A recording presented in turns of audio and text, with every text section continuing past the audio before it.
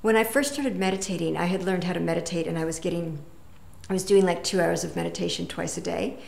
Um, Deepak Chopra had taught me how to meditate and he had said do it two hours twice a day, so I was. And um, one of the first few days that I started to meditate, I, I literally felt my body dissolving and I felt myself merge with the I couldn't tell where I was and where the air was. I couldn't tell where the chair was and where I was, and I could feel that everything was love.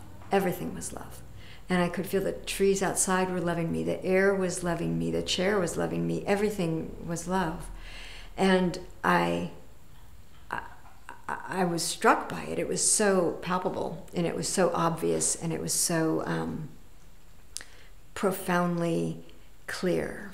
And I went out that morning, it was really early, and I went and I met some friends for breakfast, and I told them, I said, you know, I just feel like everything loves me. And they just laughed at me.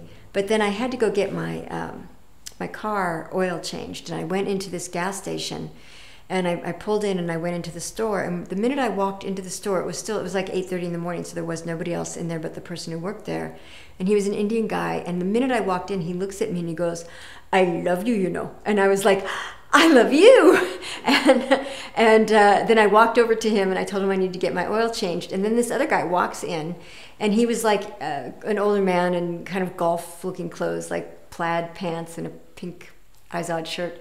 And, um, and as he walks in, the, the Indian guy says to him, She loves you. And the man looks at me and he goes, Well, I love you too. And I was like, No, I really love you. And he's like, I really love you. And and then um, he comes and he stands behind me, and now they've called the, the the Indian guy calls in the guy from the garage to come in and you know tell him that I need my oil changed. And so when the guy from the garage comes in, the guy behind me says to him, "He loves you." About the Indian guy who works there, and the Indian guy looks at the guy who works in the garage and goes, "I do. I really love you. I really love you." And I was like, "I really love you." And he, and the guy looks at me and he goes, "Well, I love you." And I was like, I was like, no, I really love you. And then the guy behind me goes, I love you too. And we were all just like standing there, and you could feel we were playing and it was playful, but you could feel that everybody had tuned to, to the fun of the love.